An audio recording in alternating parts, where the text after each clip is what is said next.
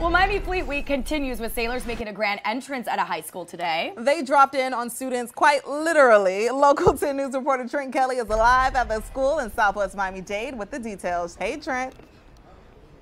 Hey there, Alexis. You know, Fleet Week is not just all about the ship tours, it's also about giving back to the local community and interacting with members of the public. So, what better way to do that than to come right here to a local school? We, of course, here are at Christopher Columbus High, where those Navy sailors made quite a few lasting impressions. Your United States Navy Parachute! A special surprise for students as sailors literally landed on the campus of Christopher Columbus High School today. The appearance by the U.S. Navy's Leapfrog parachuting team helping to mark the start of Miami Dade's first ever Fleet Week. I like the part where it was uh, the both guys holding onto each other in the sky. Oh, they were doing like a buddy jump? Yeah. Yeah. Cool. Yeah, I like the, the flags that they came down with. It was all pretty cool. Thank you for your service. Oh, thanks, guys.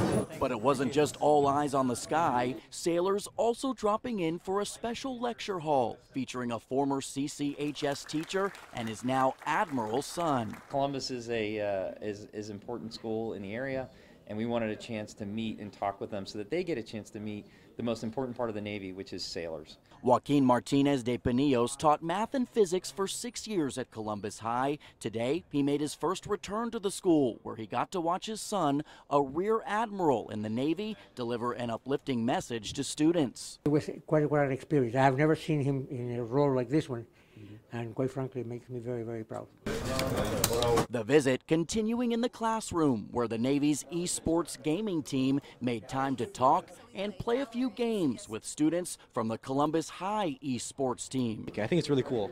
It's just a good experience. A day full of memorable moments that will stick with these students forever. I think it's important to, you know, kind of like promote this because it promotes the military and, you know, it shows that these people really do serve and care for us.